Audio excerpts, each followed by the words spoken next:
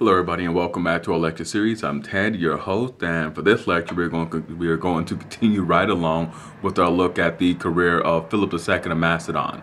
So in our last career, uh, in our last lecture, we uh, we examined the end of the Peloponnesian War. We saw the adaptation that Sparta had to make. Um, uh, which primarily consisted of just branching out and building a fleet and challenging the Athenians on the seas to bring uh, to bring about a favorable resolution in their conflict. Uh, we also saw the fact we also saw that Sparta lost her hegemony within about 30 years, a, little more than 30 years uh, after uh, after assuming hegemony of the Greek world. Uh, they lost it to the Thebans, and the Thebans cemented their control over the Greek world by by freeing the Helot population, the the, uh, the, the, enslaved Messenians that the Spartan uh, state kept control of, and primarily used to bolster and to uh, ensure that the Spartans were able to devote all of their time to military training. Uh, now, the period of Theban hegemony does not last long either, had the Thebans sort of lose their hold on the Greek world with the Battle of Mantinea. Uh, with the Battle of Mantinea, the Greek world is exhausted. The Theban, the great Theban leader Epaminondas is killed, and uh, the Greek world is sort of fractured with a number of city-states uh, vying for control of the region. Now, uh, shifting from there, we, we, we moved uh, to Macedon. We looked at the composite nature of the kingdom of Macedon. We looked at the troubles that uh, faced all of the kings who who ruled from uh, from either Pella or Aigai. Um, and, and, we also look at we also looked at the uh, the situation that confronted Philip II as he returned to Macedon. The Illyrians were massing on the borders, the Thracians were threatening the borders, and there was internal disorder. Had the the king, his elder brother Perdiccas III, had just been killed. Uh, so there was no great royal figure within Macedon. Uh, Philip's nephew was an infant. Um, and the Athenians had just landed troops on uh, on the borders of Macedon proper. Uh, we, we saw Philip use wily diplomacy and, uh, and, and, and a very skillful uh, use of his army to uh, one, defeat the Athenians and then make a conciliatory peace with them to serve as Athens' muscle in the North Aegean. We see him simply bribe off the Thracians, and we see him uh, marry an Illyrian princess to buy temporary peace before moving the Macedonian army up north and smashing the Illyrians in a battle. Now, after the peace with Athens, uh, and really after all of those things, uh, after all of those events, Philip enhanced his and Macedon's regional prominence in the north, prominence in the North Aegean. Um, the peace with Athens made Macedon the Athenian muscle in the region, and keeping and, and they were and, and, Macedon and Philip were, were really tasked with simply keeping the Athenian vassals in the North Aegean in line.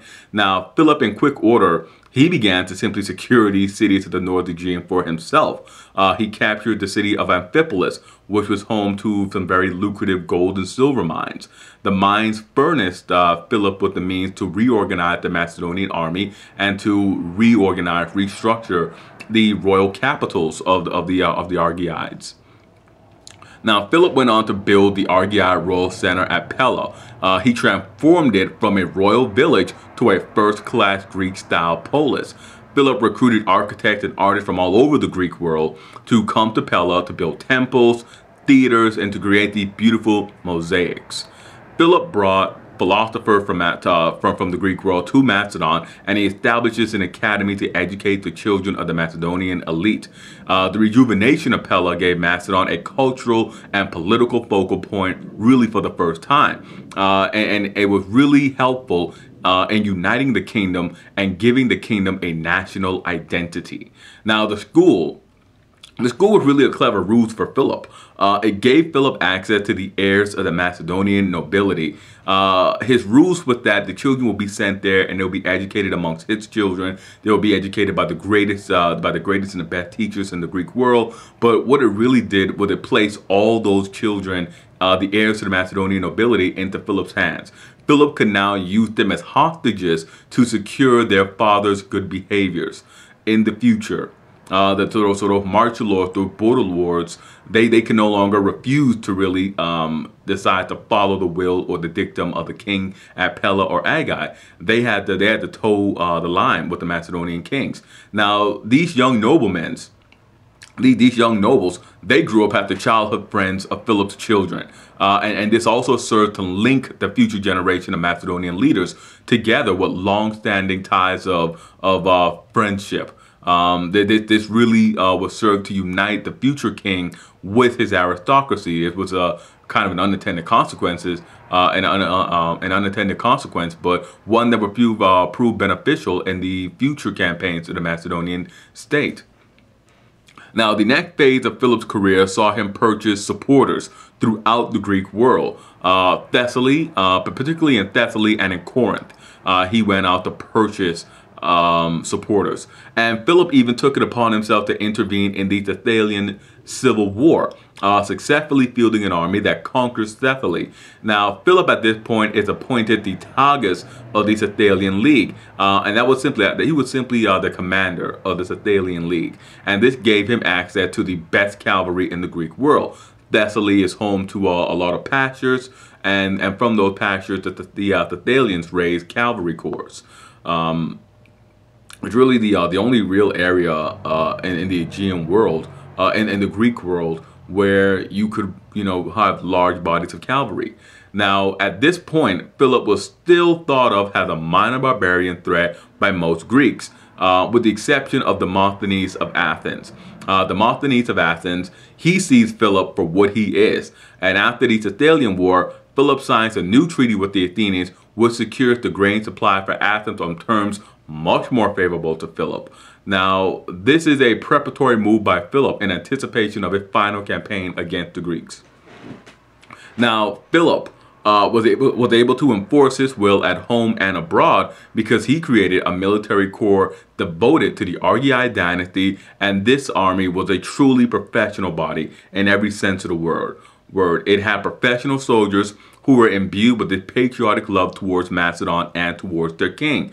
Philip used the Macedonian army to refocus the loyalties of the Macedonian peoples towards his royal house. He transformed the nobility of Macedon into an aristocracy of service rather than those semi-independent feudal lords uh, that, uh, that, that have really largely defined the Macedonian nobility up until this point.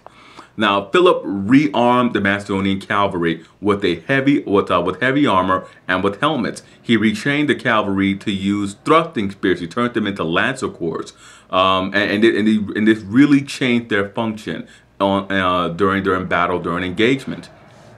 Now, uh, Philip introduced fighting in tight formation. He incorporated a unit from Thessaly into the Macedonian army, and the Macedonian cavalry became a striking force that was used to flank the enemy uh, and, and, really just take the enemy from the rear. Now, the infantry. Uh, the infantry was where Philip made his greatest military innovations. Um, the Macedonian army was reimagined uh, through through the lens of the classic Greek hoplite formation. Uh, and what Philip created is known as the phalanx. Um, the Macedonian phalanx was 16 ranks deep. Uh, he armed, he rearmed the infantrymen with a longer spear. It was really a pike. Uh, it's known as the sarissa, and it was equipped, uh, and he equipped them with new shields. He did away with the heavy armor uh, in the front, in the and and uh, and one of the things that made the Macedonian phalanx so uh, so so different was that he had the the first six ranks all hold their spears out forward. So you had six ranks of men holding out their their uh their, their spears forward, while the back ten ranks held their spears upright at diagonal angles, and this was done so that they would be able to block any incoming missiles. Uh, Philip also introduced new types of soldiers, uh, soldier contingent to the Macedonian army and and all of the light armed skirmishers uh, that that that um that he brought in were really used to guard against cavalry charges and to break up and to help break up enemy formations. The the, the new skirmishers were Hydraspes, archers, slingers, and of course peltasts. And, and, Philip improved the logistical system of the Macedonian army as well, and this allowed his army to operate in far-off campaigns more efficiently. Uh, Philip also introduced the, the siege engines into the Macedonian army, and this allowed his army to simply besiege cities. So whereas the, the Greeks, the Greeks never really learned to, to besiege cities. Um, they, they did not really have a grasp for it. Um, what, uh, what, what, what they were able to do was um, what, what they were really, uh, what the Macedonian army was able to do was to besiege cities. He was able to uh, to destroy the walls. He was able to overrun the city uh, and, and, take them. That that was uh, another major accomplishment of Philip's military reform to to uh, to allow the Macedonian to develop these techniques and to uh, to and to incorporate that tactic into their repertoire. The Macedonian army of Philip was also constructed to annihilate the enemy on the battlefield. Um, he, he, was doing away with the Greek concept of of uh, simply driving the enemy from the field. He was removing the threat from the field once and for all. That was a, a goal of Philip's. Now, Philip formed, uh, he reformed this army, and he formed this army to fight in a definitive Macedonian way. Uh, he introduced the new, what I, what I like to call the Macedonian way of war to uh, to the to the Greek first to the Greek world, and it will later be exported throughout the Near East by his son. Uh, now, the Sarissa, the, the Sarissa was really what made the Macedonian army uh, the most dominant force uh, of its era. The Sarissa was twice as long as the Greek spear. It had a counterweight on the end, and that, and that counterweight was for balance. And the Sarissa also required heavy drilling and training to operate. With this new mixed army, Philip now intrudes into the Greek uh, into the Greek world, into Greek politics at will. And Philip's first opportunity came uh, when the Greek um, when the Greek sacred site of Delphi was seized by the Phocians. Uh, Delphi was a national shrine. It was one of the two great uh, excuse me, sorry about that. Uh, Delphi was one of the two great national shrines in the Greek world. Uh, the other, of course, being Olympias. Philip, in his role as Tagus of, of uh, the, the League, he marches south with the intention of expelling the Phocians from Delphi. On his march south, he is opposed at Thermopylae in 350 BCE by the Athenians. Philip withdraws from Greece in the face of the Athenian opposition. Uh, Athens was really in no position to fight Philip's or, or, or couldn't really even contest Philip's army. Uh, but but but Thermopylae was a uh, strategic hold. That was where uh, Xerxes was checked by 300 Spartans um, before he used a goat path, a, a goat track, to uh, catch to um, catch them off guard and attack them in the rear. But but but the Athenians check him there, and Philip is forced to retreat. Um, uh, Athens by 350 had long passed from being an imperial power or really a credible military threat. Philip teased out the negotiations until he had actually taken control of Delphi for himself. And Delphi signals to the Greeks that Philip is the new Xerxes. Philip II of Macedon is the new Xerxes first of Persia. Um, Macedon under Philip replaces the Persians as the new threat to Greek security. In 341 BCE, Philip begins his final campaigns. Uh, he, he Philip attacks he uh, he begins uh, attacking cities like Byzantium and the Black Sea region, and, and, then this leads to Athens declaring war on him. Byzantium uh, was a region that was vital to the Athenians because it was uh, one of the breadbaskets for the for the Greek world. And was a great breadbasket for Athens. By attacking Byzantium, Philip was again encroaching on the Athenian grain supply to to use that that the access to grain has political leverage to force the Athenians into accepting his his dictums.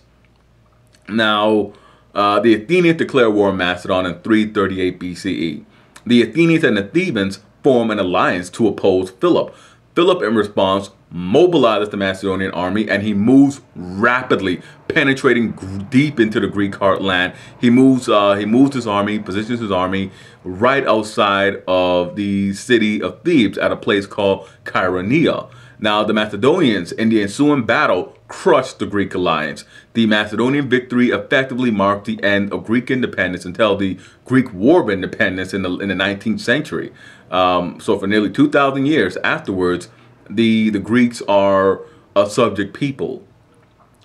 Philip now assumes the direct role of hegemon of the Greek world, and he begins enrolling all of the Greek cities, with the exception of Sparta, into his new league. Uh, the Spartans would not be cowed. The Spartans were defeated, but they were not uh, defeated to the point that they would simply give up their freedom, their autonomy, and they live outside of this new Greek uh, Greek um, Greek league. This new Greek uh, political reorganization.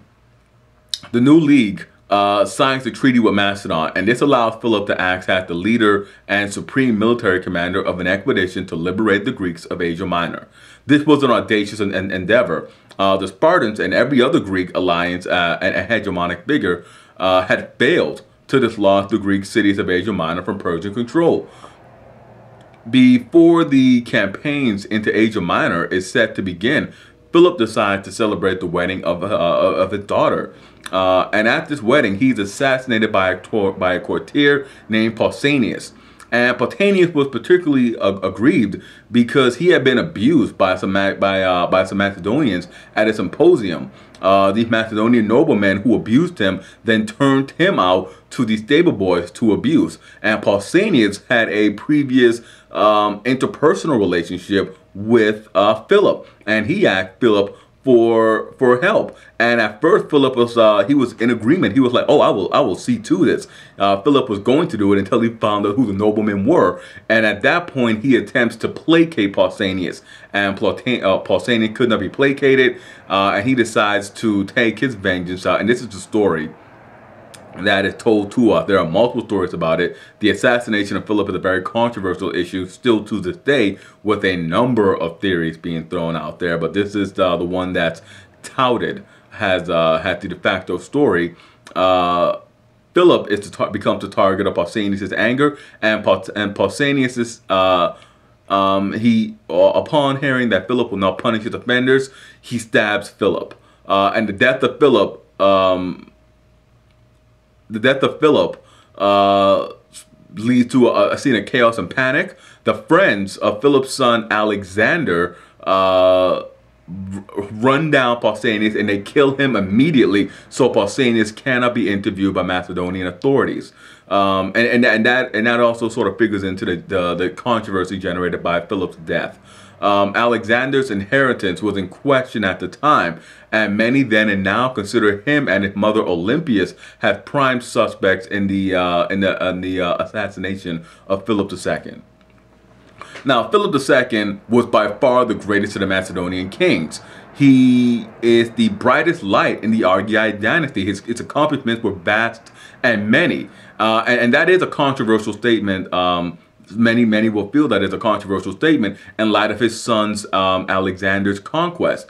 However, Philip was able to turn the perennial backwater of Macedon into the most feared and respected state in the Aegean. He was a master diplomat and he was a master general. His statecraft is attested in his ability to uh, in, in its ability to unify Macedon and to channel the forces that for so long had uh, had, been held at bay, um, had, had, just been, had just been disrupted, he was able to channel those forces and turn Macedon, the nation, um, into uh, the kingdom that, that it had the true potential to become. Macedon becomes all of that under Philip. Philip also united the Greeks.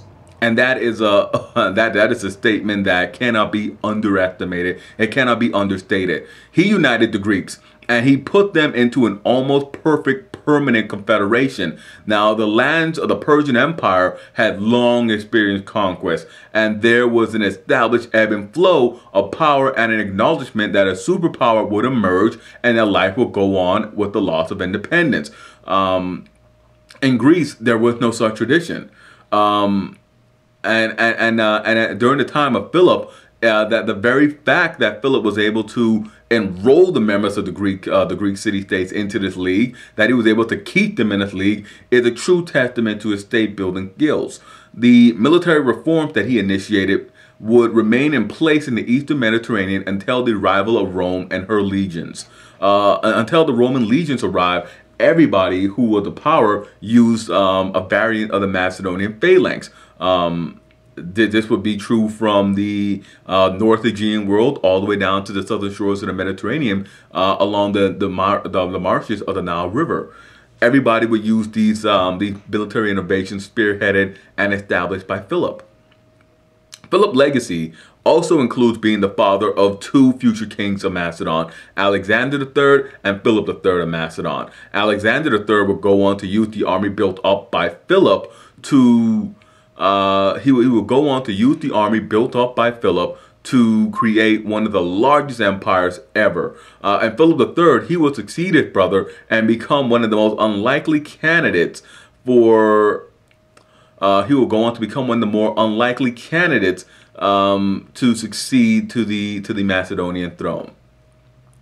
Now that will bring to a close our examination of Philip, um, and and and I I, uh, I, I kind of hesitate to sort of break off um, our, our our look at Philip just yet, um, but but I will. Uh, he um, it, there's a lot more that can be said about Philip, but but we will end here and we will pick up the story um, later. We'll pick up the story later and has always hit like, subscribe, and comment. And when we come back, we will look at the, the careers of Philip's sons, um, Alexander III, and we will close on the career of Alexander, uh, not Alexander III, um, of, uh, of Alexander IV, Philip grandson, the son of Alexander III, and Philip's son, Philip III.